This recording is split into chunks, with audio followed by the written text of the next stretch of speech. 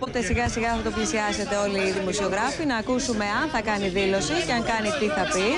Ελάτε λίγο πιο κοντά. Ποια θα είναι, ποια θα είναι η προτεραιότητά σας στο Υπουργείο Υγείας. Λίγο άλλο, κι άλλο, λίγο δεξιά, λίγο Γυρίστε από δεξιά. εδώ κύριε Υπουργέ για να σας έχουν όλοι οι συνάδελφοι.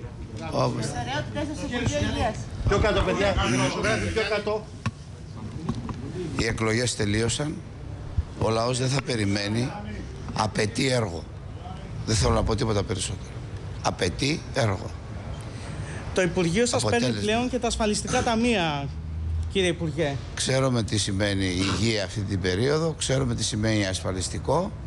Είμαστε αποφασισμένοι να παράξουμε έργο. Θα κρυθούμε, θα μας κρίνετε. Δεν θέλουμε μηδενικό χρόνο. Ποιο είναι το θα πρώτο φανεί. νομοσχέδιο που σκέφτεστε να... Κοιτάξτε, είναι πολλά από τα παράλληλα πράγματα που θα πρέπει να μπουν σε μια διαδικασία.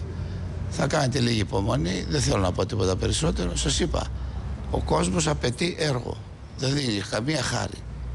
Ευχαριστούμε πολύ. Μάλιστα, αυτή